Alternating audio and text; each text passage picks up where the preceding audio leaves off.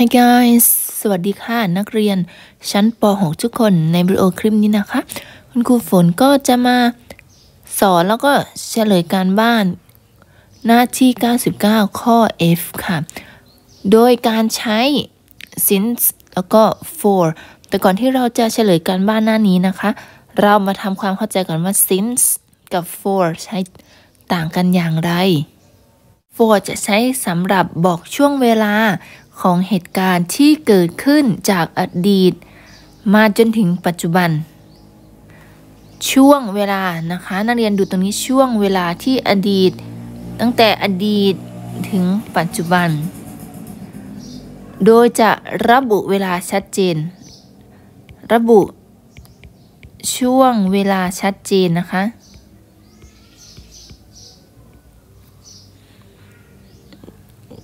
อย่างเช่น two year two year คือสองปีใช่ไหม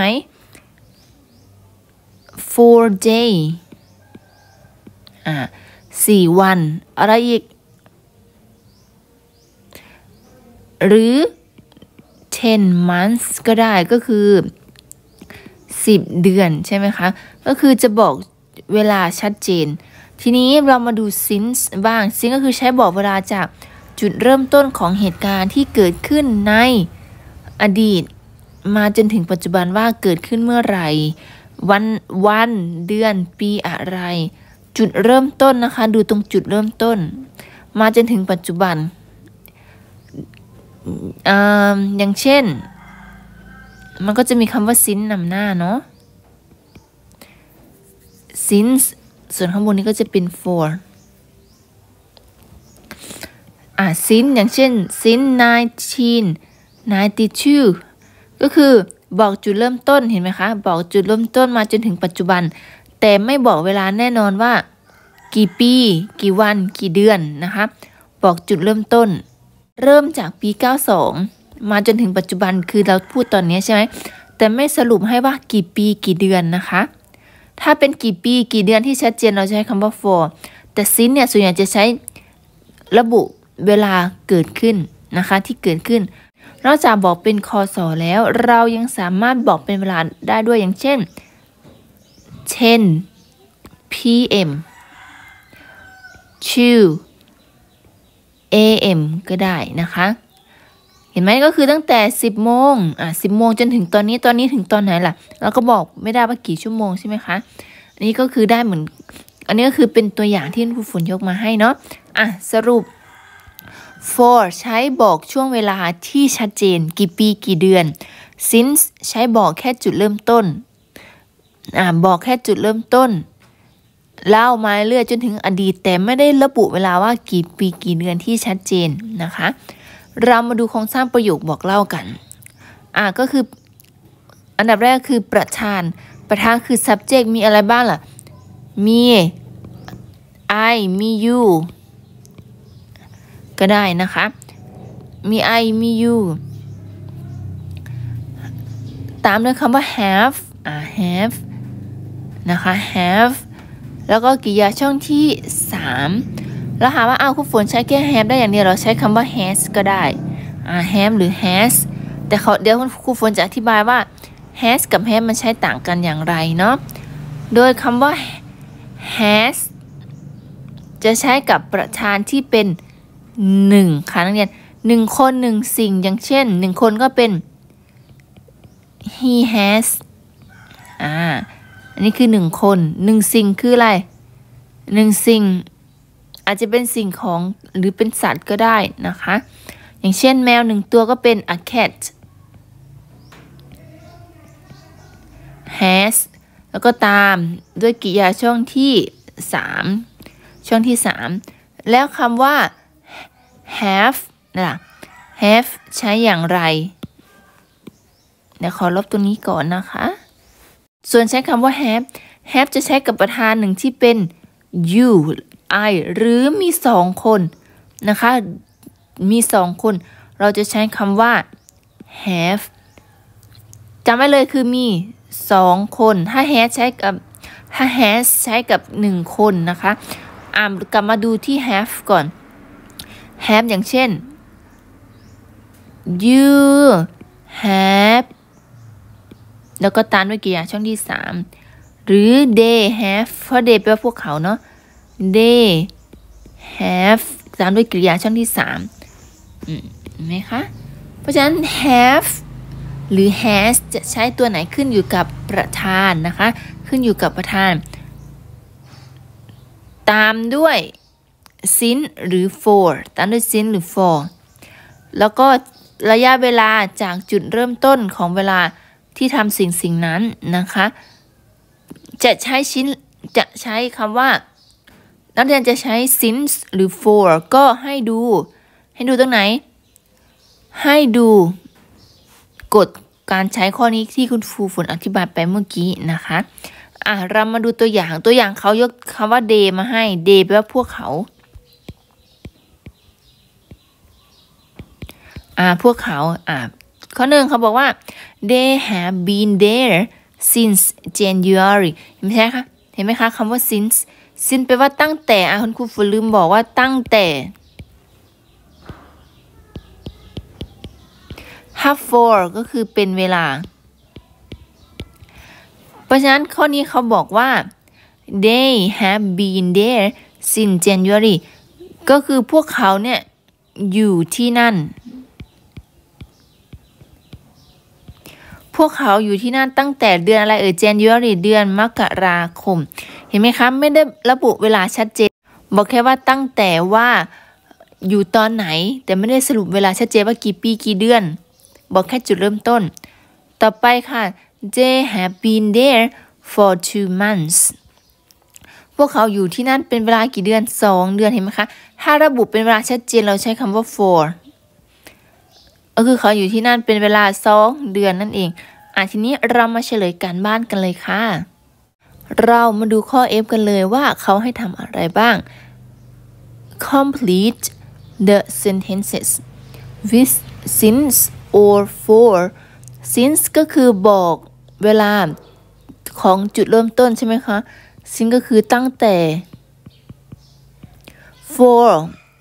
for ก็คือเป็นเวลา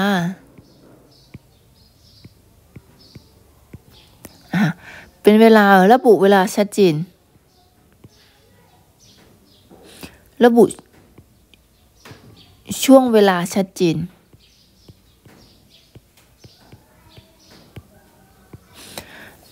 มาเรามาดูข้อหนึ่งกันเลยค่ะ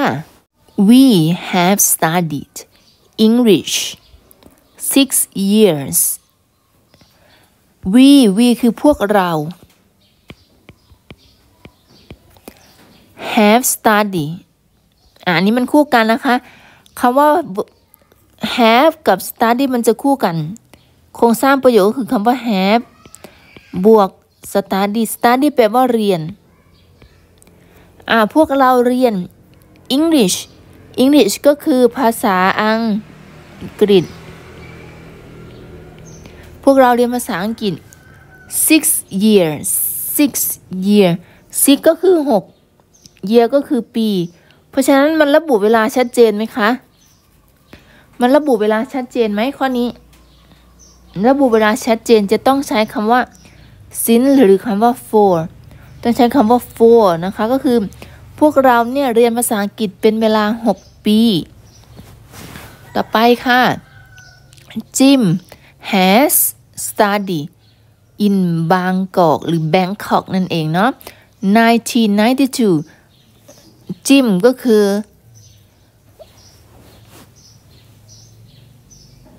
จิมก็คือชื่อคนผู้ชายชื่อจิม has studied อะ เรียนมาแล้วนะคะนะคะ ปกติถ้าเป็นแฮบวกเกียร์ชั้นสามแปลว่าแล้วเนาะ in in Bangkok in ก็คืออยู่ที่กรุงเทพ Bangkok ก็คืออ่าชื่อเดิมของกรุงเทพมหานครก็คือบางกอกนั่นแหละ ภาษาไทยเราจะเขียนว่าบางกอกภาษาไทยปัจจุบันเราเรียกว่ากรุงเทพนะคะ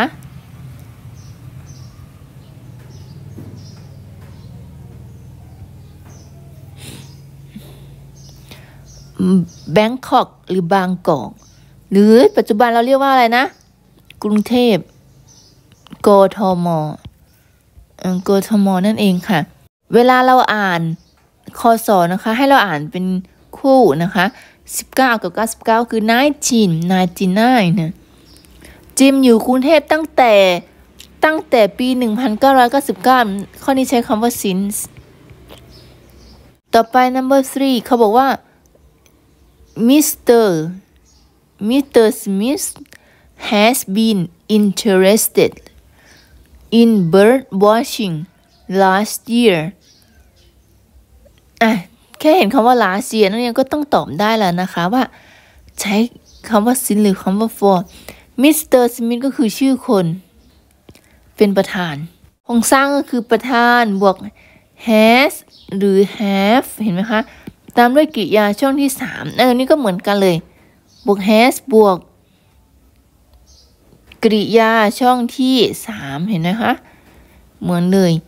interested interested แปลว่าสนใจ มิสเตอร์จิมเนี่ยสนใจใน in ก็คือใน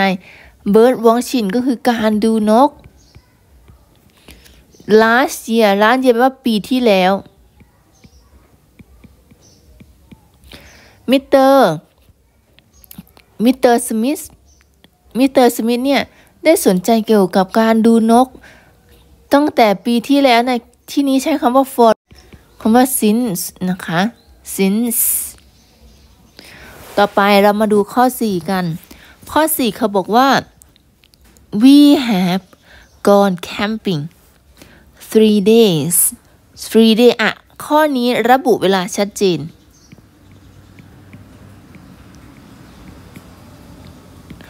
อะ ระบุเวลาชัดเจนก็คือกี่วัน 3 วัน ถ้าเรารู้คำตอบแล้วต้องตอบเลยตอบว่าอะไรเอ่ยตอบว่า for เพราะมันระบุเวลาชัดเจนเห็นไหมคะ คุณครูก็ ฝนก็บอกแล้วว่ามันระบุช่วงเวลาชัดเจนอะแต่เรามาแปลข้างหน้าก่อน we คือพวกเรา have gone camping have gone camping camping ก็คือไปเข้าค่าย ไปเข้าค่ายสำหรับนักเรียนที่ไปเรียนลูกเสือก็ได้ หรืออาจจะถ้าผู้ใหญ่ไปเขาอาจจะแบบไปนอนกลางเต็นท์ดูนกดูเขาอย่างนี้ก็ได้นะคะ ไม่ใช่ ไม่ใช่ไม่ใช่เฉพาะนักเรียนที่เป็นลูกเสือไปอย่างเดียวนะผู้ใหญ่ก็สามารถไปแคมปิ้งได้ ต่อไปค่ะ number five number five เขาบอกว่าอะไร Mrs นะคะ ถ้ามี s เข้ามาเราจะอ่านว่า Mrs แต่ถ้าไม่มีไม่มี s เราจะอ่านว่า Mr เพราะฉะนั้นข้อ 5 เราอ่านว่า Mrs Anna has taught in this school 10 year 10 year อะอันนี้ก็คือระบุเวลาชัดเจนเหมือนกับ ข้อ 4 เลย ระบุเวลาชัดเจนเหมือนกัน เอนักเรียนรู้คำตอบหรือยังเนาะอ่าเรามาดูก่อนมันแปลว่าอะไรมิสซิสแอนนาเนี่ยคุณคุณแอนนานะคะ ใช้เรียกผู้หญิงเนาะที่แต่งงานแล้ว คุณแอนนาได้สอน has taught ก็คือได้สอนมาเจากคำว่า teach สอนในโรงเรียน in school in this school นะคะ โรงเรียนแห่งนี้เป็นเวลาเท่าไหร่ เป็นเวลา 10 ปีใช้คำว่า for ต่อไปค่ะ Miss สมบัติ has taught us how to wash birds five years โอ้ข้อนี้ก็เหมือนกัน มิสเตอร์สมบัติก็คือคุณสมบัตินะคะ ได้สอนพวกเราสอนอัด us ก็คือพวกเรา พวกเราในกรณีที่เป็นอะไรเป็นกรรมนะคะ เป็นกรรม เพราะว่าเราถูกสอนไง แต่ถ้าเราเป็นประธาน เหมือนกับข้อ4เงี้ยเราเป็นประธาน ใช้คำว่า we แต่ถ้าเป็นกรรมใช้คำว่า us how to วิธี how to แปลว่าวิธีอ่าวิธีอะไร what watch work คือ วิธีดูนก five years five years ก็คือ 5 ปี ข้อนี้ตอบ four ต่อไป number seven number seven เขาบอกว่า Mark has waited for his friend Mark อ่าคุณ Mark นะคะ ชื่อ Mark has wait waited ก็คือได้รอมาแล้วอ่ารอเพื่อนมาแล้วนะคะ for his friend waiting for waiting อันนี้เป็นมันเป็น past verb นะคะ waiting for ถ้าเรารอใครสักคนต้องมีคำว่า for มาด้วย waiting for his friend his แปลว่าของเขา อะไรของเขาล่ะก็คือเพื่อน รอเพื่อนของเขา 10 a.m. a.m. ใช้สำหรับช่วงเช้าใช่ไหมคะ ครึ่งวันเช้า มิสเตอร์มาเนี่ย รอเพื่อนเขาตั้งแต่ 10 โมงเช้า ตั้งแต่ขณะภาษาไทยยังใช้คำว่าตั้งแต่ในที่นี้ก็คือคำว่า since the last one number eight เขาบอกว่าอะไรเอ่ย we have been bird watchers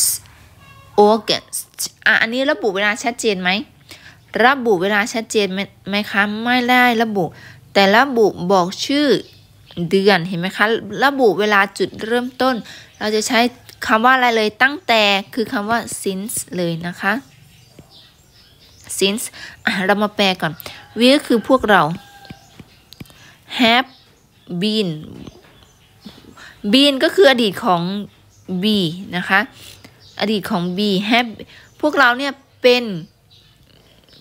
คนดูนก อะ เป็นคนดูนก พวกเราเป็นคนดูนกตั้งแต่เดือนสิงหาคมนั่นเองค่ะ อ่านักเรียนก็ทำแบบฝึกหัดลงไปในแบบฝึกของนักเรียนนะคะสำหรับวิดีโอคลิปนี้มีเพียงแค่นี้ค่ะทุกคน อย่าลืมทำการบ้านด้วยค่ะ thank you for watching bye bye